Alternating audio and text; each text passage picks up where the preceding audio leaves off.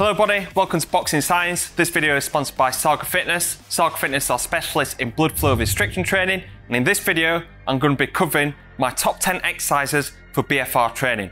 So a lot of people have seen us use the cuffs down here at Boxing Science. You can actually get these with a 10% discount using the Boxing Science discount code. But a lot of questions are fired over to us across social media on which exercises are going to be most, most beneficial for BFR training. Of course, it's very specialist training method to help increase strength and muscular hypertrophy. Due to the blood flow restriction, it limits us in the different exercises that we can do. So in this video, I'm going to be covering the top 10 exercises that we use and explain some of the benefits and reasonings of how we uh, apply these exercises for BFR training. So the first one, and probably the most common exercise that we use, are bicep curls.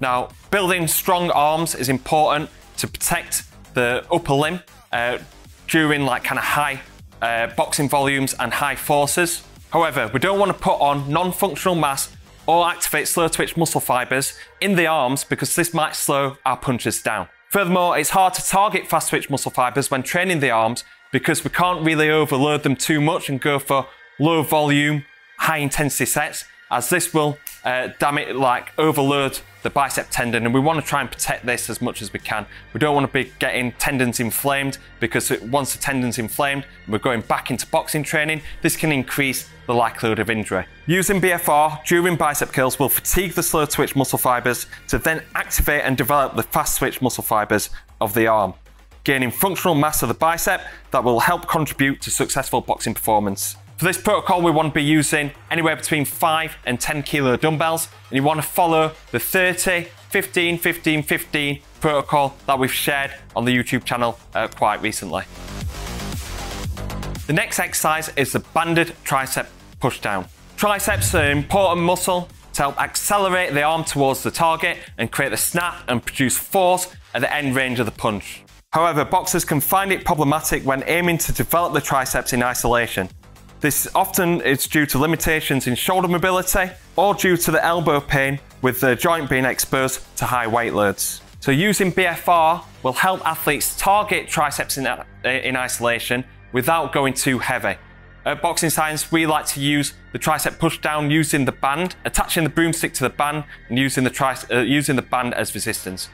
We start from a standing position and we look to progress by uh, progressing into a kneeling position and we wanted to use the 30, 15, 15, 15 protocol again for this as well.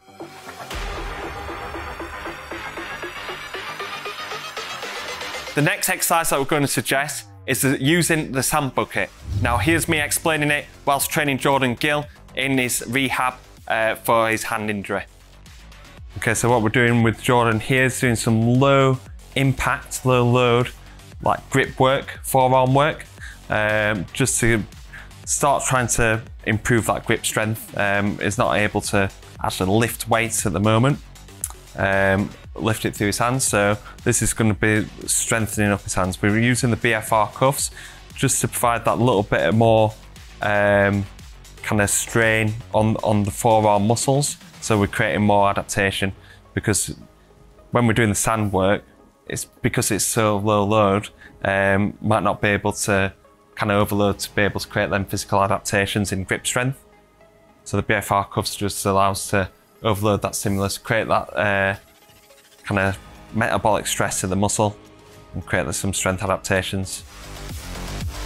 The next exercise is press ups using the BFR cuffs. Press ups are one of the most common and effective tools in improving upper body pressing strength.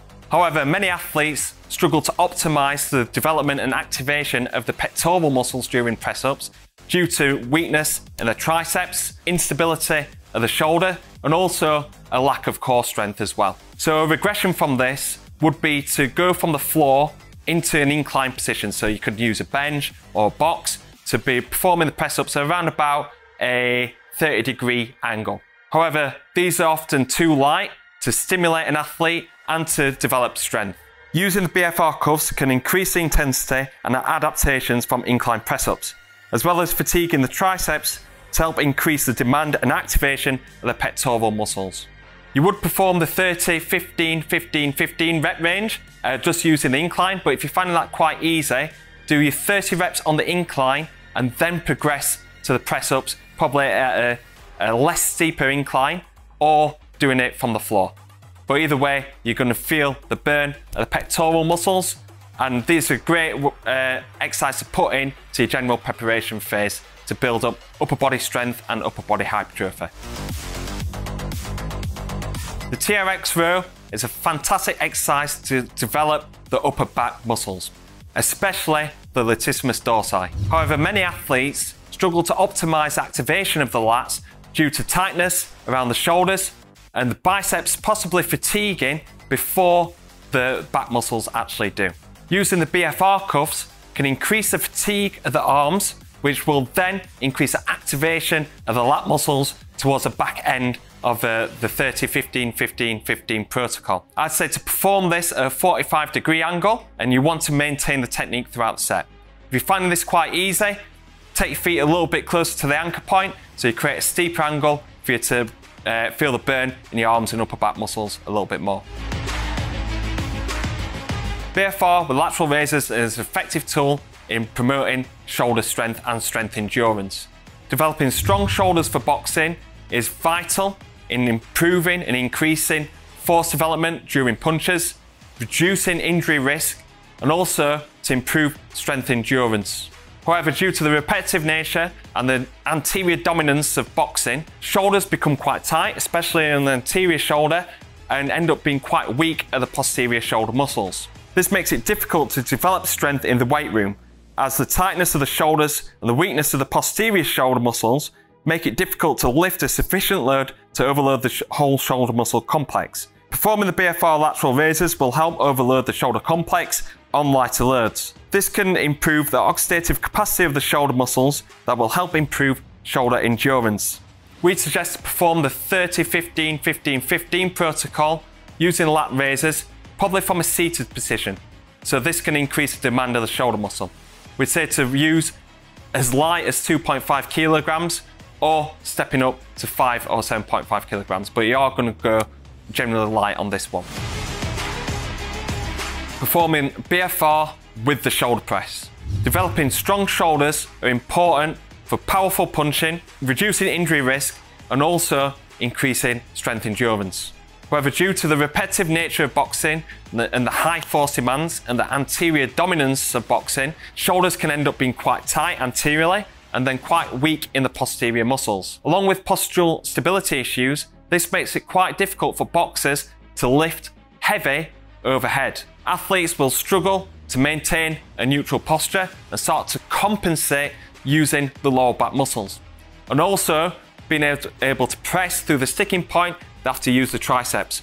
And because boxers are quite weak in the triceps, they're unable to sufficiently overload the shoulder towards the top range of the movement. Using BFR will help us lift overhead with light loads and still target strength and muscular hypertrophy adaptations.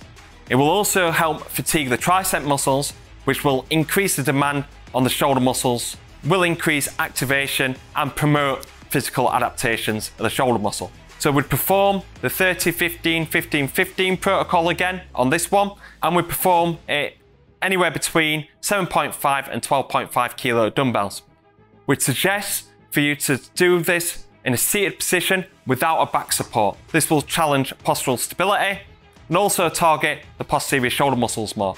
You can further increase the demand of this by performing this in a Z press position. This is basically sitting on the floor, sitting in an upright position. This is great exercise to target the shoulder muscles with reduced weight load. Goblet squats using the BFR cuffs.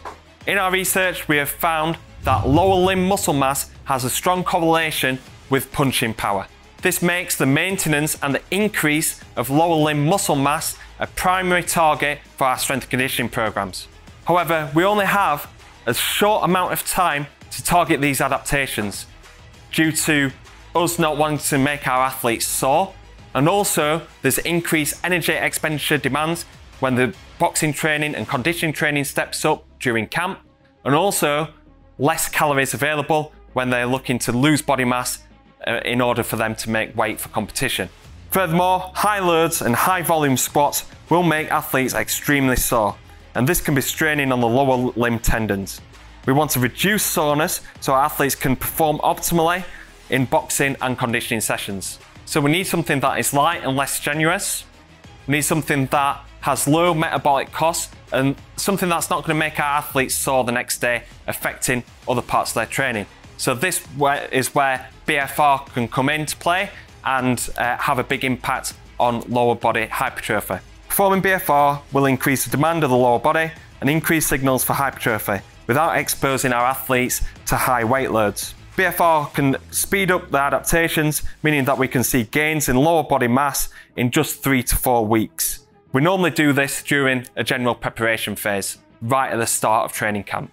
We perform these with bodyweight squats or goblet squats because we're wanting to perform an exercise where we can maintain technique when we're going through to like kind of high levels of fatigue. When we do the squats, the athletes are more or less like uh, crawling on the floor in pain after this. So the last thing that we want to do is do a heavy loaded back squat or doing a, a, a barbell variation where we can see a, a little bit of forward anterior lean. We're wanting to make sure that we're maintaining technique the best way possible. So performing bodyweight squats, a plate squats press or goblet squat is ideal to do uh, with the BFR lower limb cuffs.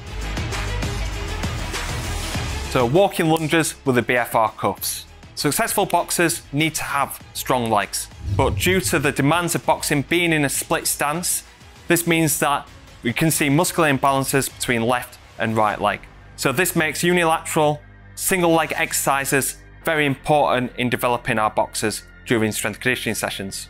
Performing lunges are a great way to improve single leg strength. However, due to the high eccentric demand, this can create a lot of lower body soreness. And we don't want this to uh, come into play with our athletes because we're wanting them to optimize their boxing and conditioning sessions. So adding the BFR cuffs to walking lunges can help promote unilateral leg strength and hypertrophy at reduced weight loads and reduce lower body soreness. Now, doing walking lunges for 30 reps on each side can end up being quite time consuming. So we'd suggest to perform 30 reps doing a, light loaded goblet squat or, or bodyweight squat, and then proceeding into doing 15 reps on each side on the walking lunges and performing three sets of this. Hip thrusts using the BFR cuffs. The glute muscles are an important contributor to hip extension and the hip rotation. Need these movements to be rapid in order to transfer force from the lower body through to the fist during a punching action. Boxers struggle with glute strength due to tight hips and also the lack of strength and movement training that they've been introduced to from a young age.